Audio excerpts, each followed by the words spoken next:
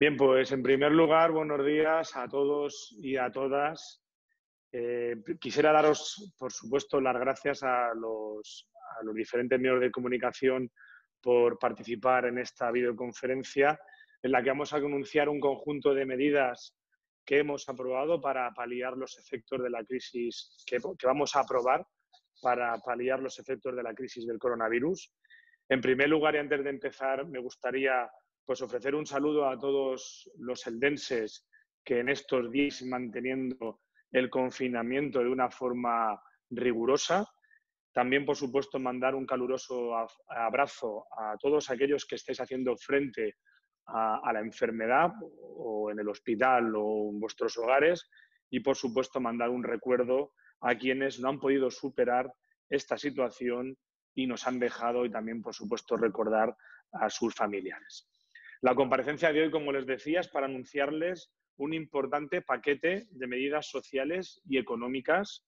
el mayor en la historia de nuestra ciudad,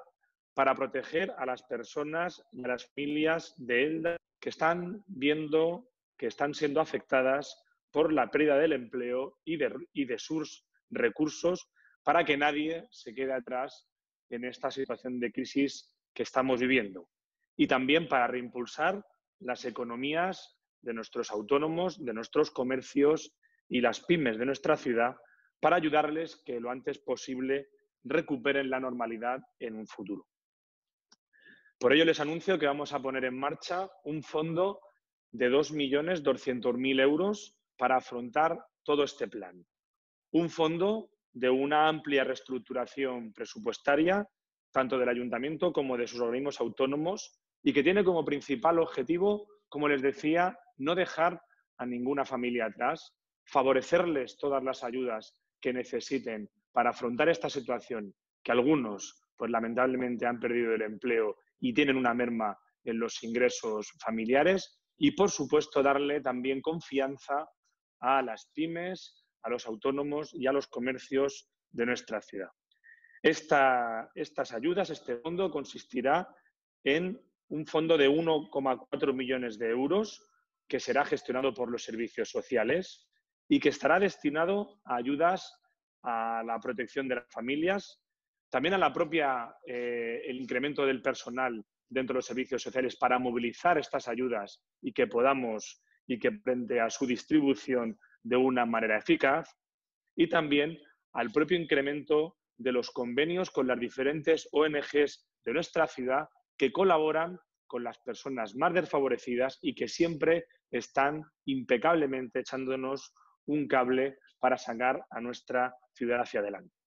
Y también en, ese mismo, en el mismo fondo de los 2,2 millones de euros, unos 800.000 euros que serán gestionados por IDELSA, por el organismo autónomo de la, de la promoción del empleo y de la economía de nuestra ciudad, y que estará enfocado a las ayudas a nuestros comerciantes, pymes y autónomos, también a un plan de formación de desempleados y de personas que hayan perdido en esta crisis su empleo y, por supuesto, de campañas de incentivo de consumo local, potenciando la labor del comercio de ELDA y abogando por un comercio de proximidad, como estamos comprobando en esta crisis, que se ha convertido en un papel fundamental.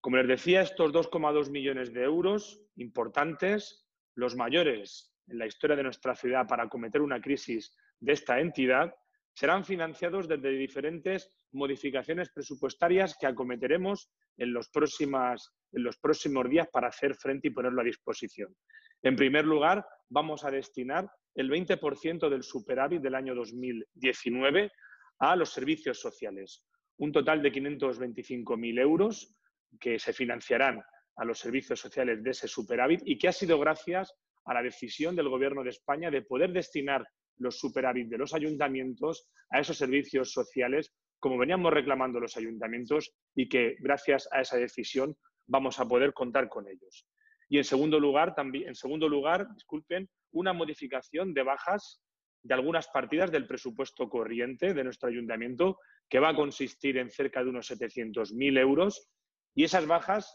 pues, son eh, por la eh, decisión política de, como les decía antes, no vamos a dejar a ninguna familia ni a ninguna persona detrás y que nuestra principal prioridad y nuestro principal foco ahora mismo es el de ayudar a las personas, con lo cual dejaremos políticas para más adelante que teníamos previstas este año y que consideramos que, consideramos que pueden esperar ante esta situación de crisis que estamos sufriendo en nuestra ciudad y nuestros vecinos. También habrá dentro del, eh, dentro del propio presupuesto de IDELSA una reestructuración de en torno a 300.000 euros para enfocar todos los recursos, como les decía, que tenemos en ese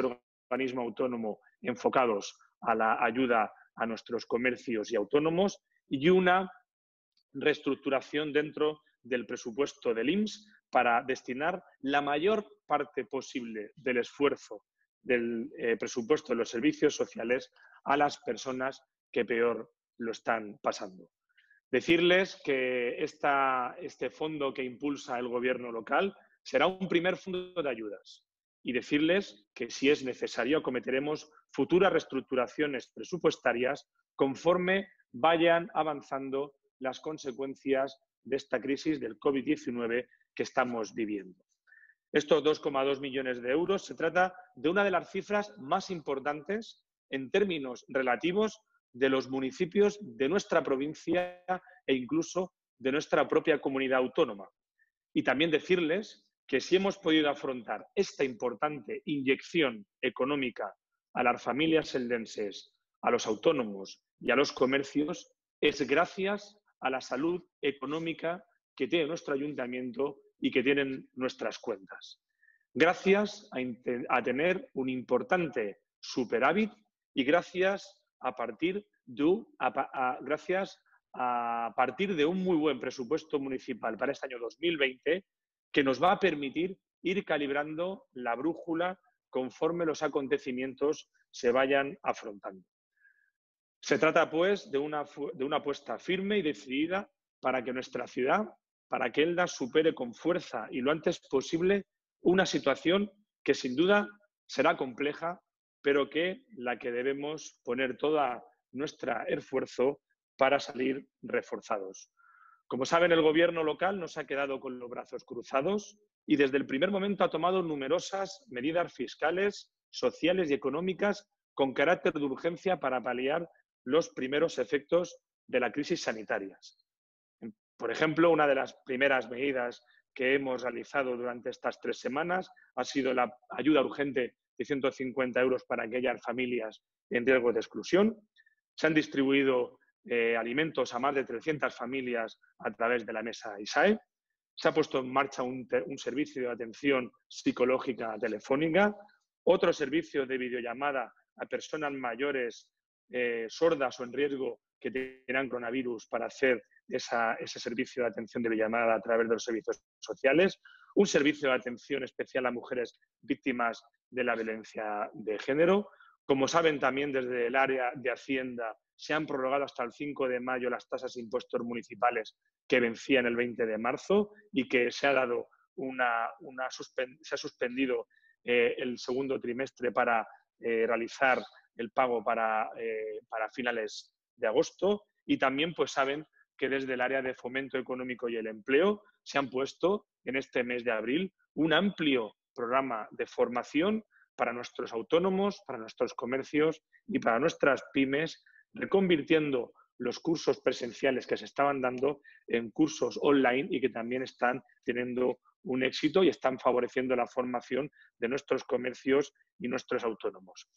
Estas medidas, sumadas evidentemente a las que están impulsando desde el Gobierno de España y también desde el Gobierno de la Generalitat Valenciana, están amortiguando este primer impacto de la crisis. Pero sin duda son medidas que no serán las únicas si consideramos que en el futuro tienen que haber más apoyo y más recursos para nuestras familias, para nuestros vecinos y para nuestros comercios autónomos, que son los que peor lo están pasando en esta situación de crisis. Con lo cual, como les decía, el principal foco y la principal prioridad actualmente de nuestro gobierno local es afrontar esta crisis